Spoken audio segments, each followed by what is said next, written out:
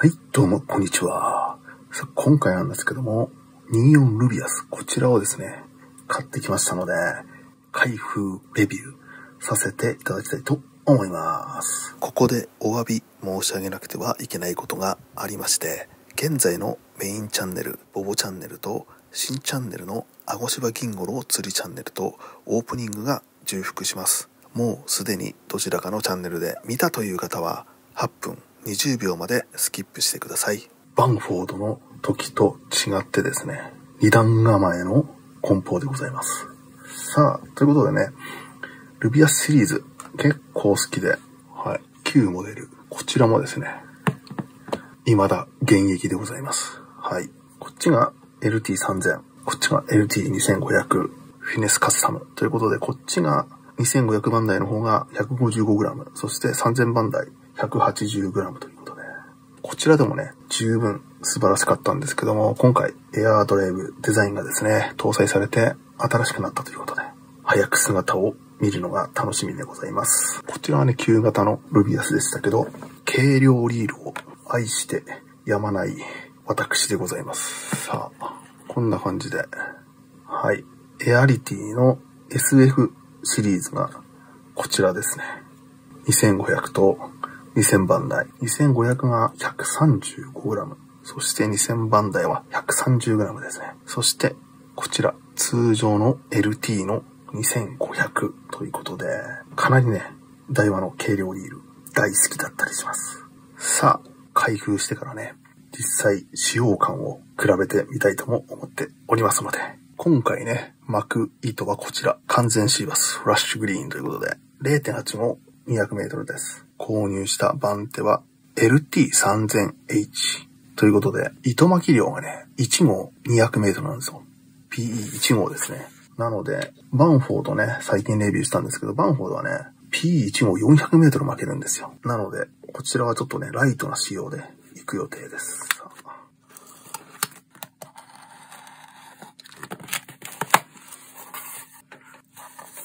D のマーク。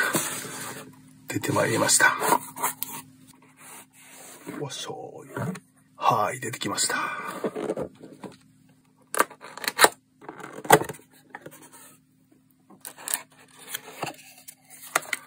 はい。さまず、リールの袋。そしてこの中に、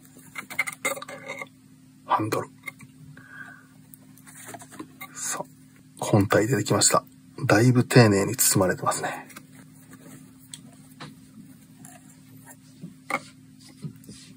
おー、めっちゃかっこいい。伝わるかな？このラメ。ラメ伝わるかな？すごいラメ入ってる。ボディがめちゃくちゃラメ入ってますね。へえ。これは嬉しい誤算ですね。そして、結構分厚い取扱説明書が入ってます。早速ハンドルをね、つけたいと思います。いいっすね。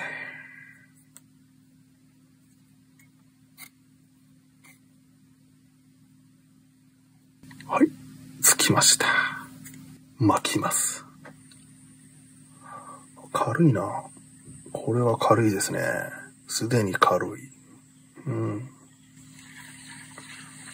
ああ、いいね。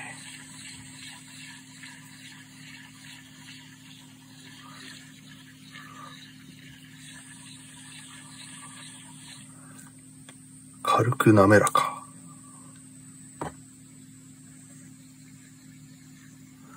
いいっすね。ベール。おいいですね。いいです。最高です。はい。ではね、ここで、旧モデルのルビアス。いや、だけどだいぶね、こっちもね、巻きが軽いんですよ、本当に。エアドライブデザイン非搭載ですけど、ほんとカーボンモノコックボディだけでもね、結構クオリティがね、高いと思いますよ。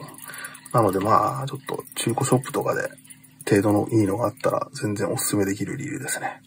ただね、あの、ベール、カチってならない。カチってならないベールなんですよ。しかもちょっと太いんですよね、ベールは。ワンピースベールなんですけど、太いんですよ。ベールの太さ、わかりますでしょうか？ベールがね、だいぶ、新しいルビアスの方が細い。いやー、いいね。やっぱりデザインが洗練されてますね。うん。はい。続きまして、エアリティ。軽い。こちらはね、エアリティの2500番台の LT ですね。軽い。やっぱりね、軽いっすね。当然だけど軽いね。そしてこっち、SF スーパーフィネスの2500。もっと軽い。なのでちょっと、軽さで言うと、まあ、エアリティのスーパーフィネスがトップなんですけども、やっぱり軽ければ軽いほど、巻きがね、軽いっすね。このクラスになると、素晴らしいですね。で、まあ、ベールの太さはあまり変わらないかな。エアリティと。なので、価格差がね、約1万5千円ぐらいあるとは思うんですけども、それでもやっぱりコスパが超いいですよね。で今回ね、ルビアスは3万5千円ぐらいで購入させていただきました。素晴らしい。すげえな。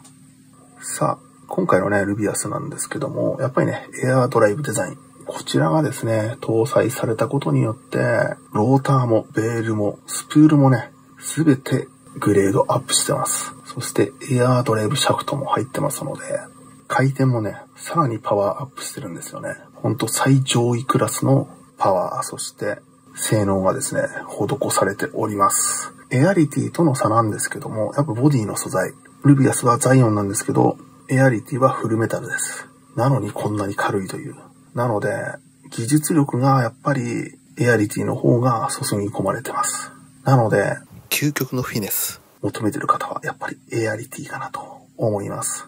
究極のアジング、究極のメバリング、そして究極のトラウト、究極のバスフィッシングとかね、なってくると、やっぱりエアリティになってしまうのかなと思いますので、もしね、そういったこだわりのね、世界へね、オールインしたい方はね、エアリティ一択だとは思います。なんですけど、ルビアスのコスパ半端ないっすね。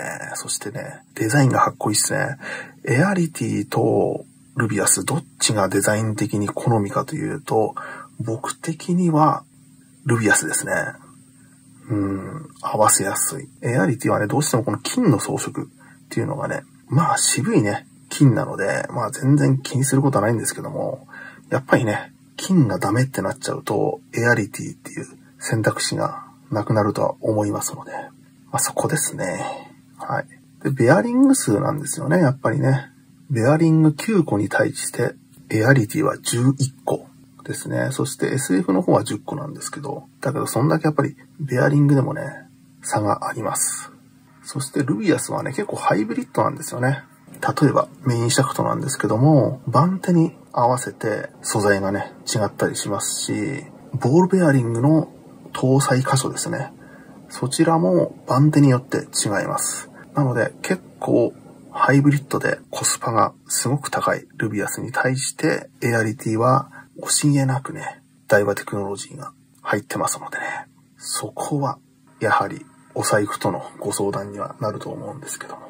もしね、究極のフィネスを求められてるとしたら、エアリティ一択かなと。なんだけど、全然ルビアスも最高だぜといった感じでしょうか。ではですね、実際に現場でいろいろ投げてみたいと思います。レディゴーはい、若干まだ薄暗いですけども、現場にやってまいりました。24ルビアスね、やっていきたいと思います。見にくいんですけど、下の方には旧モデルのルビアスと、そしてバンフォードがあります。さあ、どうでしょう。まずは、ちょっとね、巻きを知りたいんでね、新編から。前回スイッチヒッターでしたけど、今回ガルバででですね、旧モデルと比べると、エアードライブデザインですね。そちらが全て付いてます。そして、ベールのね、太さもエアリティとね、変わってなかったので、いいんじゃないですか。そして、ベールサンドですね。やっぱりね、これがね、搭載してくれたのが、本当嬉しいんじゃないでしょうか。そしてドラグですね。ドラグの調整が結構細かくできるね。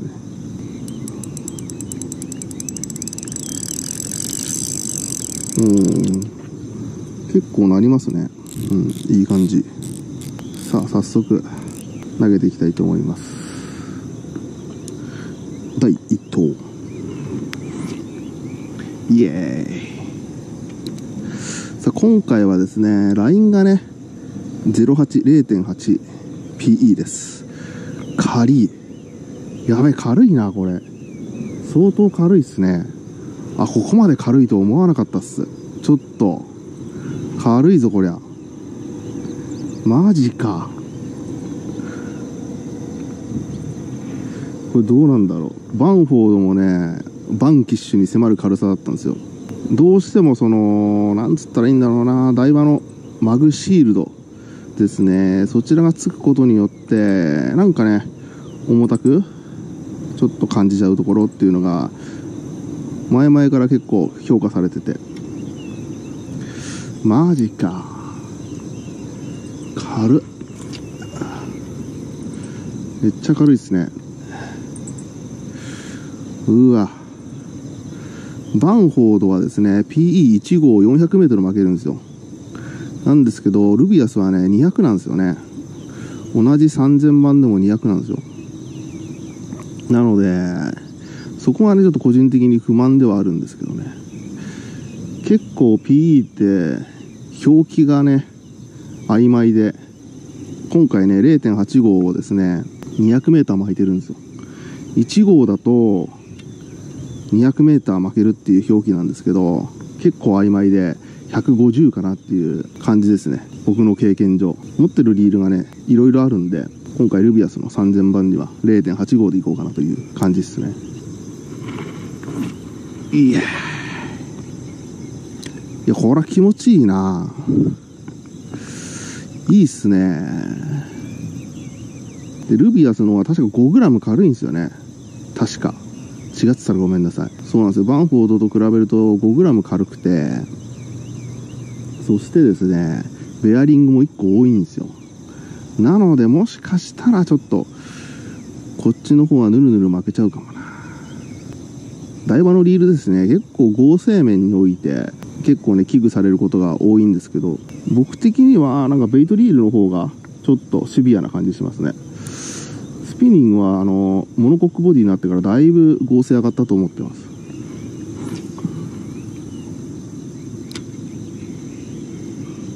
そしてねさらにエアドライブデザインが追加されたことによってだいぶいいはず。たまに結構沖でねこうボイルみたいのをするんですよね。ただもしかしたら濁いかもしれないんですよ。ガルバはね結構浮きやすくて水面直下引きやすいんでちょっと水面から出るぐらいを引いてますけど。いいね。だいぶいいわ。スイッチヒッターと比べるとこうガルバってあのスラックシェイクみたいのをすると結構左右にねクイックにダートしながら来るんでなんかこうペンシルベイトみたいな感じでねこう来ると思わなかった。もうちょっと巻きが重たいかなと思ったんですよね。さあ次はですね旧ルビアス。さあ旧ルビアス。こちらもですねずっとスタメンで結構霞でバリバリ使ってたんですけど全然衰えないというか。ただそうベールがねカチッてならなかったりベールがちょっと太かったり。だけどね十分軽いリールなんで確かね3000番台で 180g ぐらい。でね PE も同じ0.8ただこっちはシンキングです。シンキング PE よいしょ。あ変わらんか。あでも軽いわ。そうっすね。十分軽いっすね。さすがルビアスっていう巻きですね。当たり前かもしんないですけど新しいルビアスの方が巻きはいいですね。ただこっちもねほんとガタガタにならなくてすごくその衰え知らずなんですよ。なので2019年モデルのねバンキッシュも未だね愛用してまして全然そんな使用感に衰えを感じないんですけどそのぐらいですねルビアスも。いいんじゃないかなっていう気はしてるんですけどね。水面でね動かしてれば結構釣れそうな雰囲気はあるんだけどねベイトもあるし。おおおおお反応した反応した。マジか。ちょっと反応しましたね。フィッシュイーターが濁いかな？小バスかな？やっぱり水面ちょんちょんちょんちょんやってこうパニックアクションじゃないですけど。まあもともとうねうねね新編なんで動くんですけどそれプラス水面チャプチャプ。水面チャプチャプがねやっぱりこうベイトフィッシュ食ってる魚にこうちょっと効果的というか。次バンフォードですね。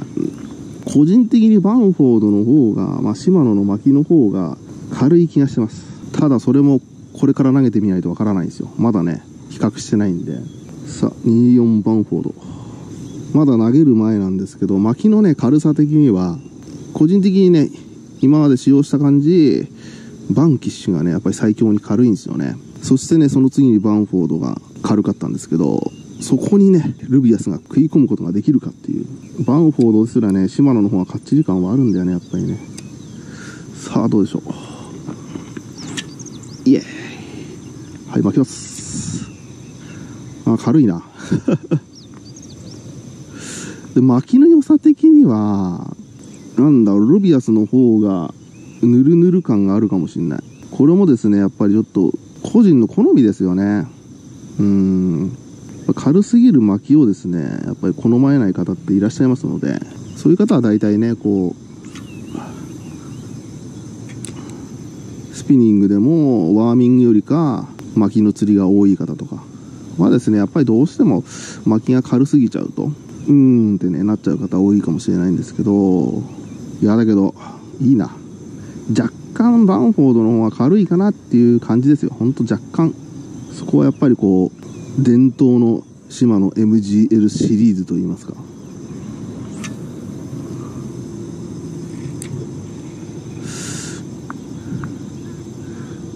ただぬるぬる感ですよね。がちょっとルビアスの方が上かなっていう感じはします。やっぱりねベアリングがあの1個多いんでねルビアスの方が。そしてさらにルビアスの方がちょっと 5g 軽いですよね。そこっすよね。さあちょっとねまたルビアスに持ち直します。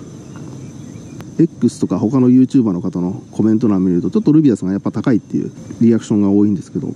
まあだけどねバンフォードよりも軽いしベアリングもね1個多いんでやっぱり価格差出ちゃうよねと。なのでやっぱね次の25カルディア？24になるか分かんないですけど25カルディア24カルディア。まあニューモデルのねカルディアがどうなるのかっていった感じですね。さあ気を取り直して。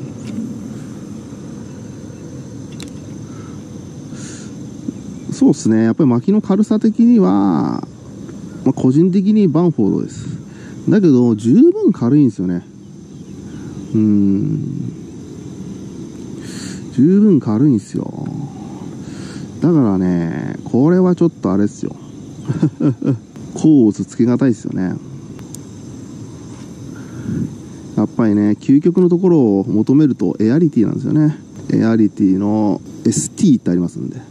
要はマグシールドの入ってないエアリティがあるんで。ねそうなってくるとだいぶ変わってきますよね。これからねいろいろ投げていくんですけどもバンフォードとね旧モデルのルビアスはもう過去の動画で結構投げてるんでここからはね24ルビアスにフォーカスしてやっていきたいと思います。次は巻き抵抗のあるルアーですね。はい。アシュラ。8g ぐらいのミノーですね。こういった軽量プラグをグリグリってね巻いてみて。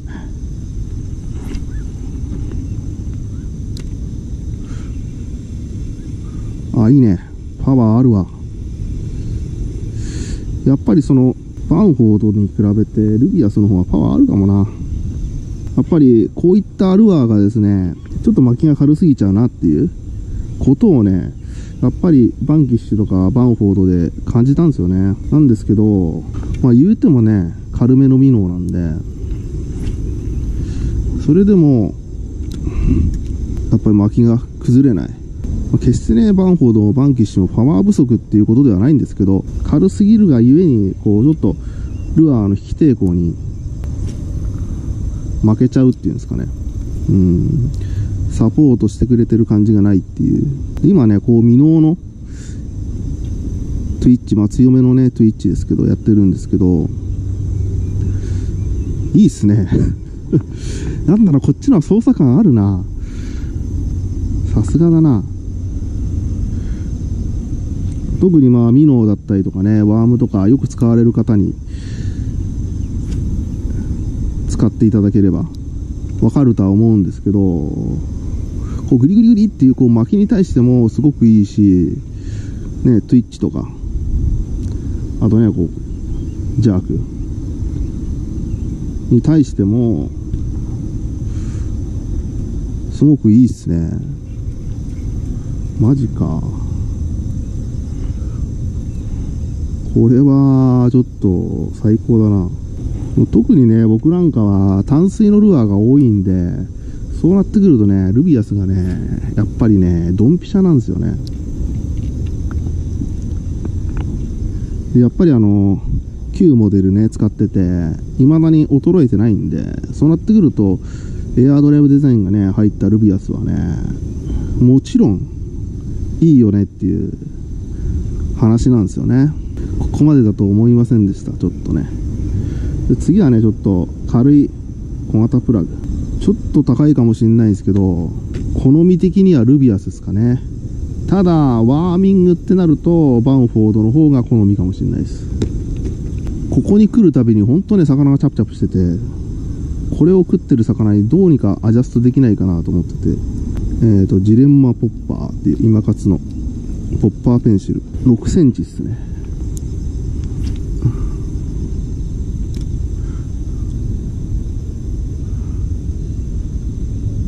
まあなんだろうな。ここまでちょっと小型になってくるとバンギッシュとかそのバンフォードの方がちょっと特化させやすいかもな。若干ちょっと巻きのだるさが出ちゃうかも。ただねこれも慣れなんだよねほんとね。マジで慣れなんですよ。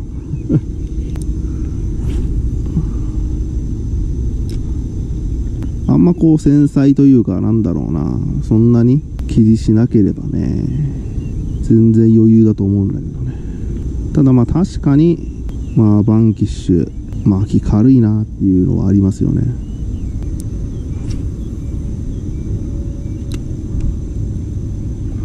ああいいっすね。うん。十分軽いしね巻きも、まあ、3000番なんでね。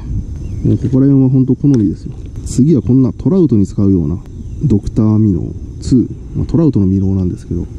そうとある YouTuber の方でねこれで釣りまくってる人がいてそんな釣れるのかなと思って。安いしちょっと買ってみました。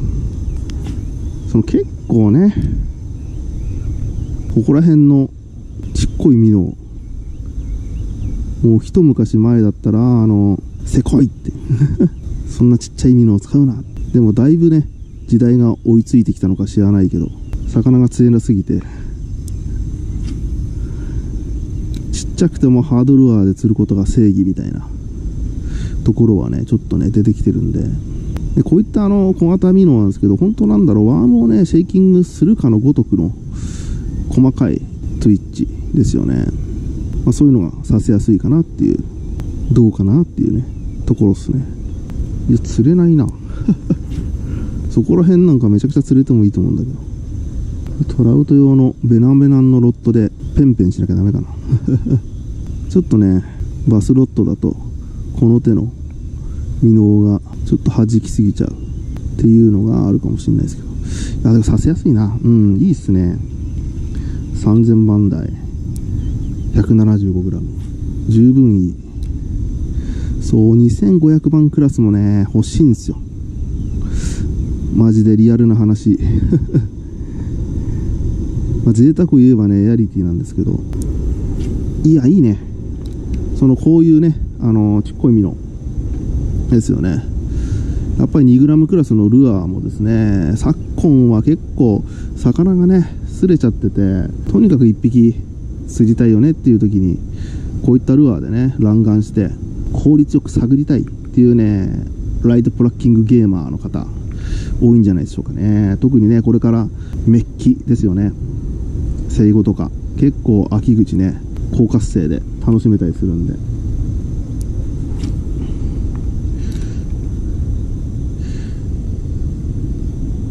ライトプラッキングゲーマーの方はねもうルビアスドンピシャでしょうねバンフォードもね、いいと思いますけど。そうですね、こういう Twitch とか、もっとこう多用するような方だと、もしかしたらバンフォードの方がいいかもしれないけど。だけどね、懐が広いかな、ルビアスの方が。投げた感じもう 10g クラスのルアーとかも結構パワー不足を感じないんでちょっとね次はワーミングですね。はい。ミドルアッパーシャット2.5インチ。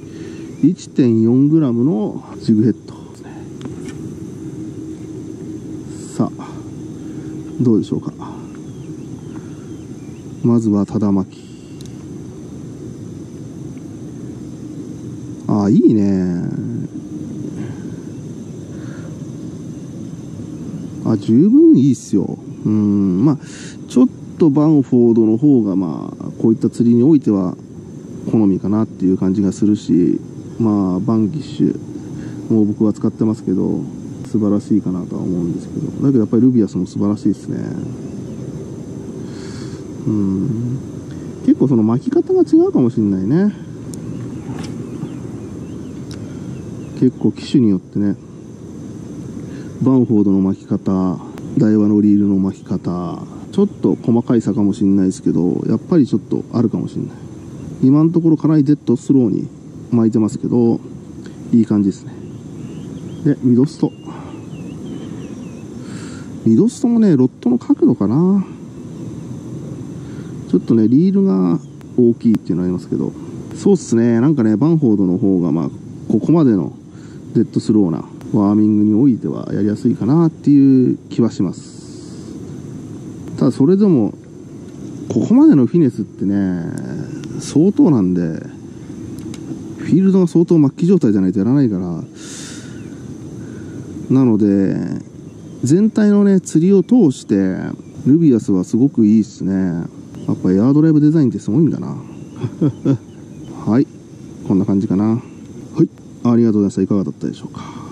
個人的にはですねルビアスが好みです。なんですけどワーミングですねホバストとかもうすごいデッドスローに漂わせて超細かいシェイキングで誘うような釣りとなるとまあバンフォードバンキッシュの方が活躍するんじゃないかなっていう気はしてます。なんですけど台湾にもねエアリティの ST というマグシールドがねないモデルもありますんでちょっとそちらも余裕があったら買いたいかな。って思っちゃいましたねちょっとね。うん。通常のエアリティのね SF は持ってるんでちょっと ST モデルのエアリティもちょっと欲しくなっちゃいましたね。予算がなくて買えないですけどなんかでも儲かったら買います。ではですね最後までご視聴誠にありがとうございました。また次回の動画でお会いしましょう。バイバーイ。